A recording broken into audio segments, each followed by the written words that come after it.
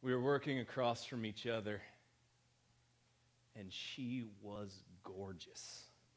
I mean, there were a lot of people that worked there, but not that looked like her.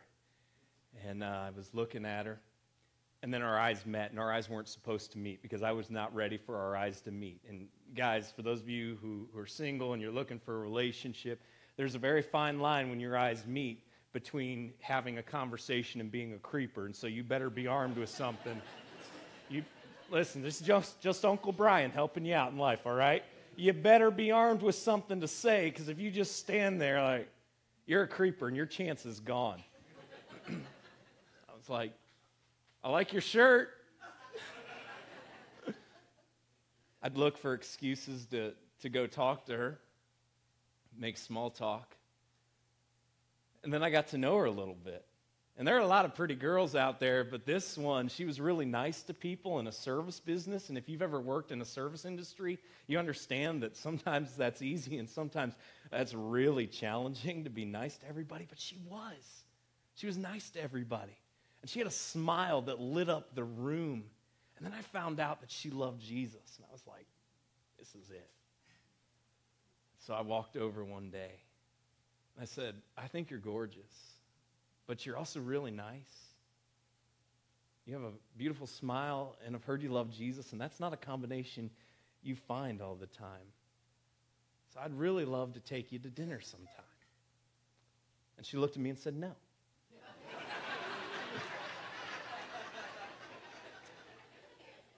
Now, a lesser man would walk away defeated, but not I. I was going to make her feel bad. And so I looked into the eyes of my future bride and said, Fine, I'll go take the walk of shame. And that's exactly what I did. And I walked away. And then six weeks later, one of her coworkers came up to me and said, I think you should ask Brooke out again. And I said, You have a really sick sense of humor. No thanks. I'll pass. And she said, No, really. You should go ask her out again. And so, this time, like a creeper, I followed her out into the parking lot because if you get shot down once, that's fine. You tried. If you get shot down twice in front of people, you're just a sad story. And so, if that was the case, I just didn't want it to be on a wide scale where everyone could see. And so I followed her out into the parking lot and I looked at Brooke and I said, This is the last time I'm going to ask, so you better say yes. Let me take you to dinner. And she said, All right. That was 10 years ago. And here we are now. You know, there's certain moments in life that change the course of your life. Sometimes you know those moments are coming. A wedding, you have time to pr- prepare for that. A graduation, you have, you have years looking forward to this date, and you know those events are coming. Sometimes moments change your life that you have no idea are coming. In an instant, everything can change. In a car accident, or you go to a doctor, and all of a sudden you're diagnosed with something, and it's very sudden.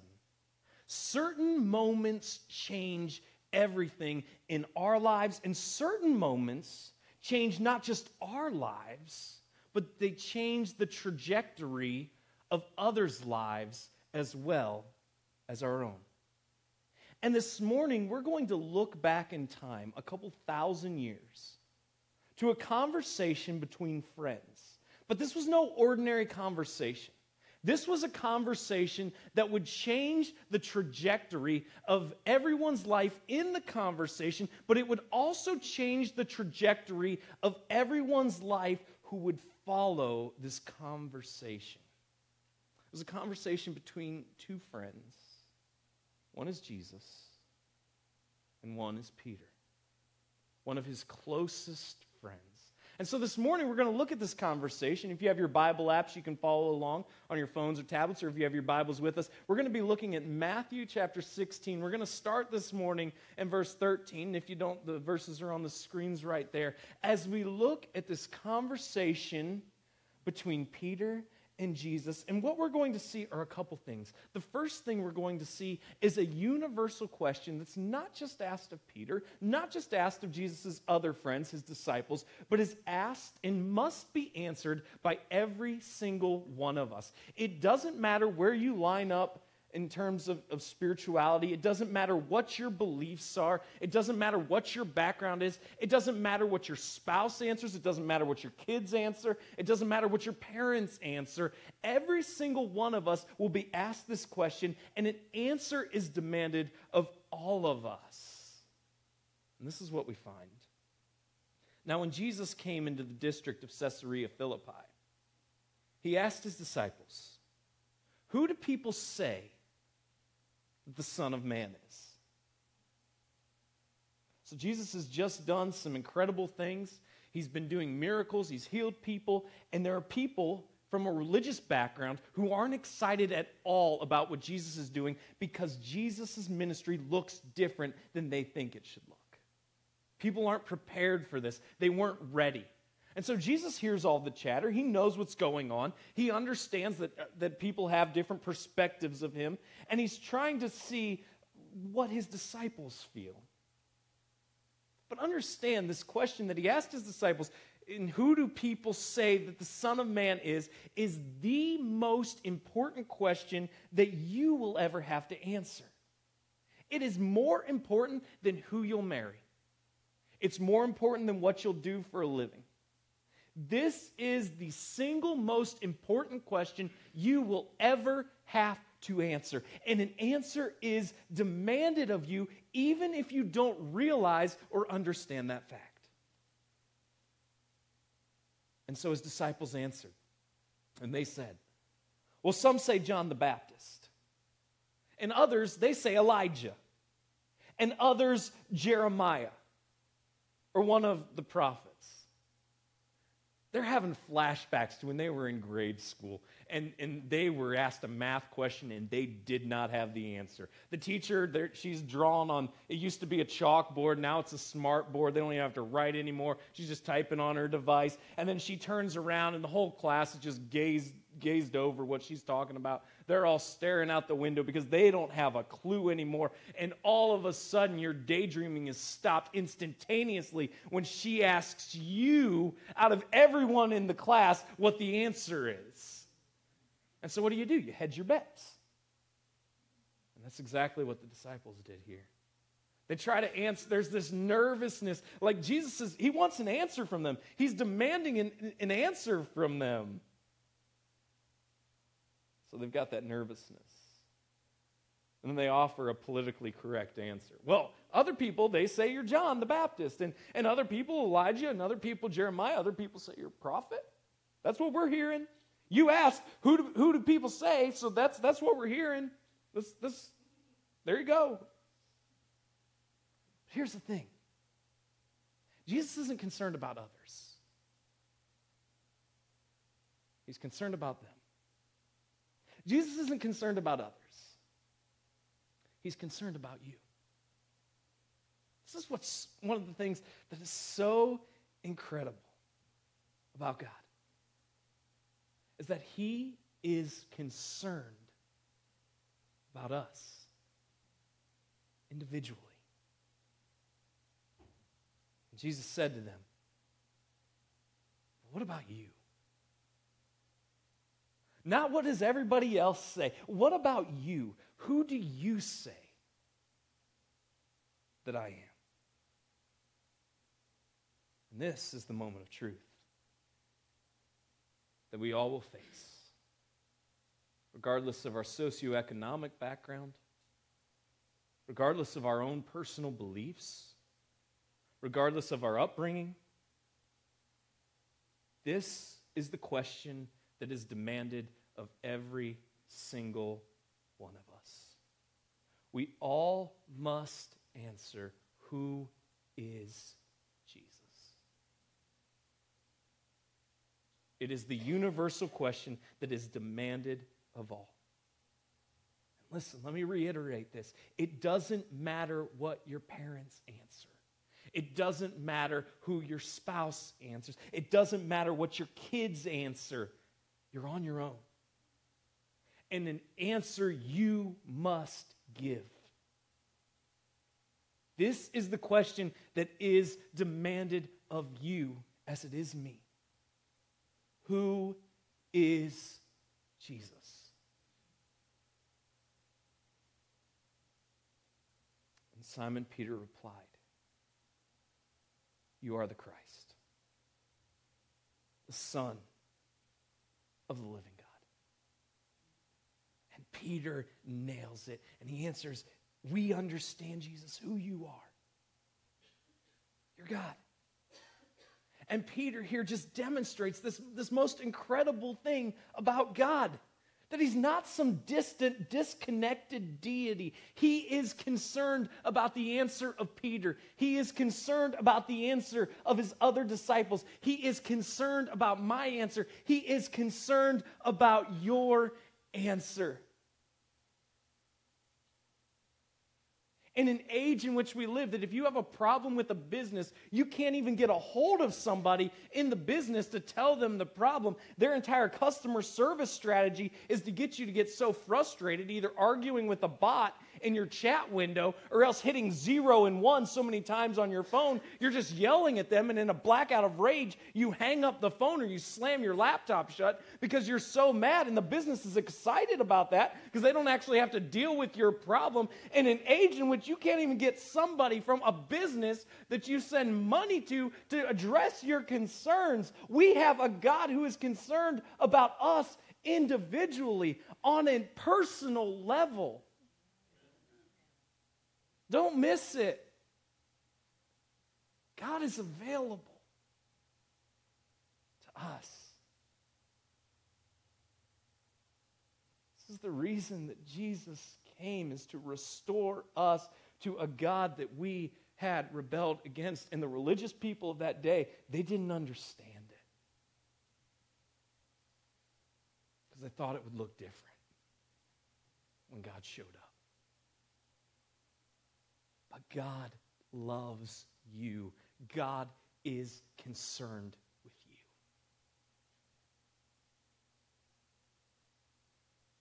And Jesus answered him, Blessed are you, Simon Barjona, for flesh and blood has not revealed this to you, but my Father who's in heaven. And I tell you, you are Peter, and on this rock I will build my church, and the gates of hell shall not prevail against it. Jesus is so excited by this answer that he pulls out Peter's full name, right? Remember when you're a kid? You know you're getting your full name under two occasions. Number one, you have ticked your mother off. Like she is, she is Christian cussing at you, all right?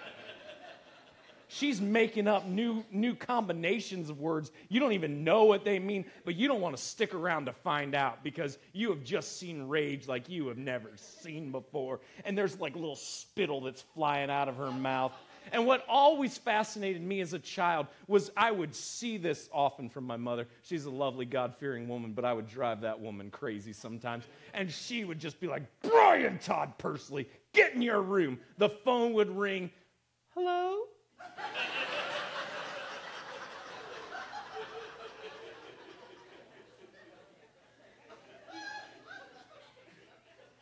Every mother is bipolar. The second, second half phone rings, they're a brand new person. That person on the other end of the line had no idea she was within a moment of ending my existence. No idea. Everything was fine in the Pursley home, according to them. She'd hang that phone up, and it's like she didn't even miss a beat. Just wait till your father gets home. I'm not even gonna wait till your father gets home. I'm like, oh, you're back. Like, it's very confusing as a child. It's very confusing. Which mom do I have right now? So, you know, if you royally screw things up, you're getting the full name. Or if you do something that's really good and they're really excited. So Jesus here, he calls Peter by his full legal name. He's so excited by this answer. And then, based on the understanding that Peter has demonstrated, that Jesus is God, he introduces a brand new concept for the very first time. That was a plan of God all along, but it's the very first time. This moment changes everything for us. This concept, an idea of the church is introduced.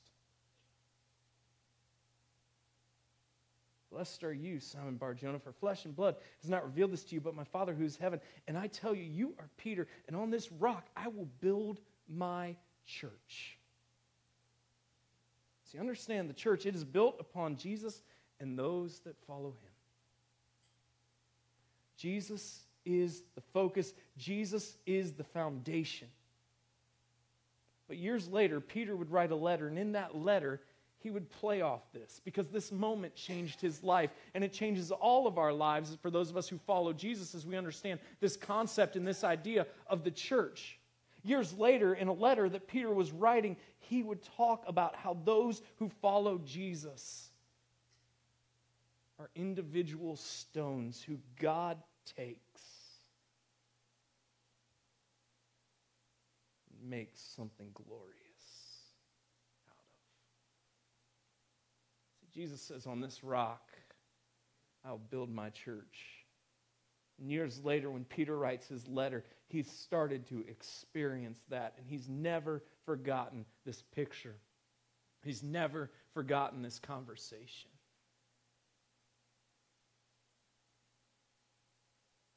And hell, the gates of hell, will not prevail against it. Hell will not defeat this entity, hell will not be victorious. Now, I am. I'm a movie aficionado. I am personally responsible for driving Movie MoviePass to the brink of bankruptcy. And if you have MoviePass, I'm really sorry about all the changes you've experienced recently. But that's because I got the annual plan and I'm under a dollar a showing right now because I've seen over 90 movies in the last year. I am a movie freak, and I love, I love war movies. There is just something about war movies that I love where you see a group of people who go into battle and do heroic things and they sacrifice and they all work together and they are all rugged and like they haven't showered in two months and they don't care. They don't need to sleep. I mean, it, they're ripped. It's, it's everything I'm not. And so I just, I, I love it. I, I, I mean, Think about it. In 20 years, war movies are going to be so sad. They're going to be like a group of 23 year olds drinking Mountain Dew from their parents' basements on their PlayStation 6s launching drones halfway around the world. And that's going to be war movies in 20 years from now. They're going to make me look strong like I'm a throwback. So it's going to be really sad. So enjoy them while, while they're out there. Now, in all the war movies that I've seen, I've seen guns and I've seen knives and I've seen rockets and I've seen grenades and I've seen swords and I've seen spears and I've seen bombs and I've seen bows and arrows. I've seen you name it, every kind of weapon that's available. You know what I've never seen? I've never seen a hulking warrior go up to a city, rip its gates out of their foundation and start swinging them around, just trying to take people out. Why? Because gates are defensive. They're a defensive mechanism to thwart those who are coming to attack. So when Jesus tells Peter, On this rock, I'm going to build my church, and the gates of hell will not prevail against it. What Jesus is talking about is that for those of us who have had an encounter with Jesus, we are to be on the offensive. We are to take the message of love. We are to take the message of hope. We are to take the message of peace. We are to take the message of truth to those who have not love, to those who do not know hope, to those who have no peace. And in a world that is literally crumbling in front of us, in front of our very eyes, there is no shortage of opportunity for our message to ring true and to ring loud. We, as people who follow Jesus, must be the most loving, must be the most hopeful, must be the people who are full of truth and be full of peace. And we need to carry that message and that change in our lives out to this world that is in desperate need of love, that is in desperate need of peace, that is in desperate need of hope, and in desperate need of truth. We need to stop sitting by idly thinking that we are defeated as we look at our culture. Instead, it must be our rallying cry. All the more reason as our culture increasingly is not loving to personify love as we go. So, those of you who follow Jesus, stop living defeated lives. God has not called you to be defeated. God has not called you to live in fear. Spoiler alert Jesus wins. And if you're His, the war is already over. And it says, I will give you the keys of the kingdom of heaven. And whatever you bind on earth shall be bound in heaven, and whatever you loose on earth shall be loosed in heaven. Then he strictly charged his disciples to tell no one that he was Christ. Okay, what? What? like, I, I, was right there, right there with you, Matthew. I think, I, I think I'm getting what Jesus is doing here. And then, hey, guys, just don't tell anybody about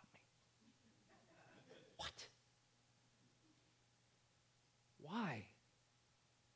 This is troubling at face value. No, let's tell people. Like you're God. The reality is this Jesus' work was not yet done.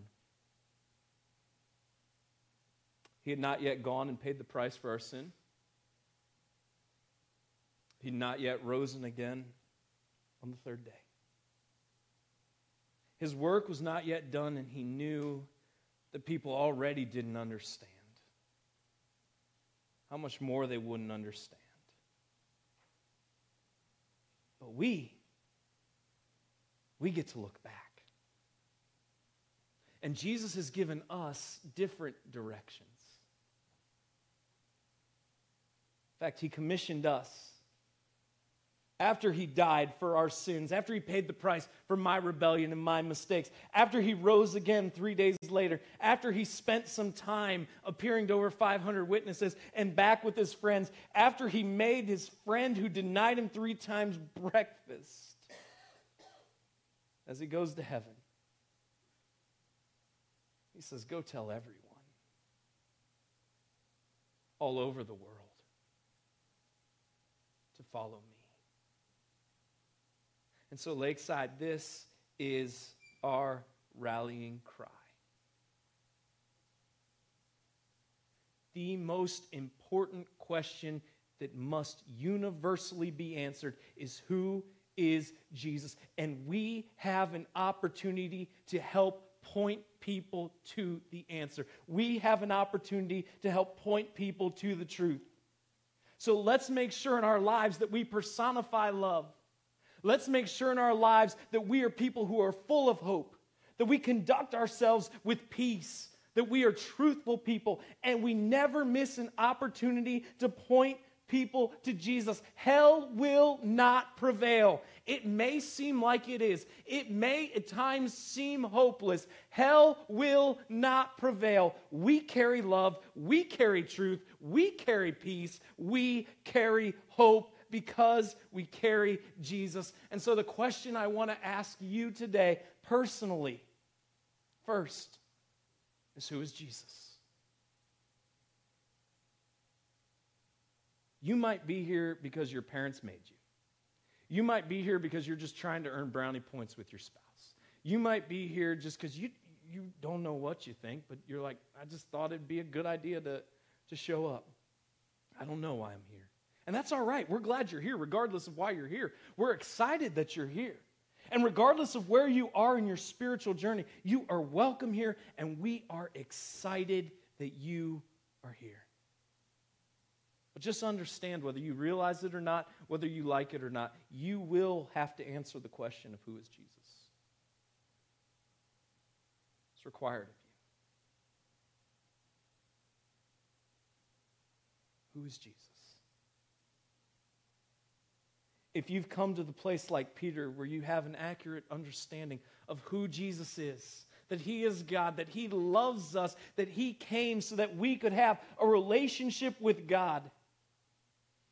And you've made the decision to put your hope and trust in Jesus to pay the price for the mistakes that you've made. And you're counting on Him. And I have another question for you. And that question is this Whose gates are you tearing down? Whose gates are you tearing down? Now, I understand that this can be intimidating. I understand that you can freak yourself out and think, I'm not a theologian, I'm not a pastor. Look at my life, Brian. I'm a wreck and I'm a mess. Congrats, we all are, and it's exciting that you understand that. But here's the deal the people that God and Jesus had the biggest problem with were the people who thought they had it all together.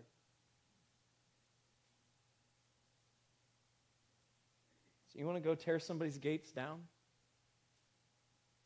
Tell them your story. Tell them what God has done in your life. You don't have to have a lot of theological points memorized. You don't have to have a full doctrinal statement in your mind. You don't have to, you don't have to like be able to list all the Bible books in order. You just tell them what God's done in your life. The change that has happened in you. And then you live it out. You be love. You be hope be peace, and you be truth. And don't make it harder than it has to be.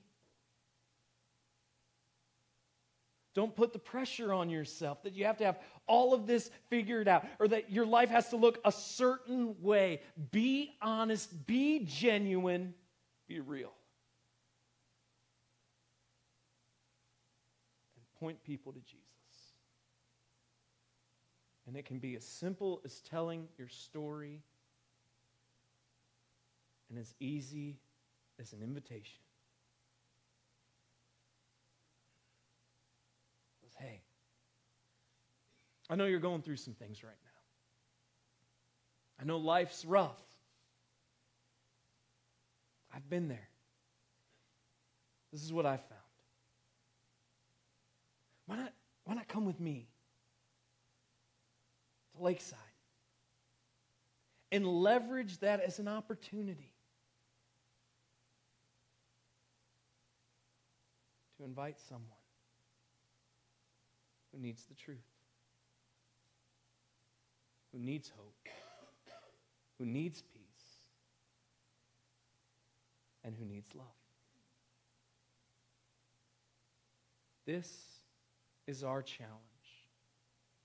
This must be our DNA.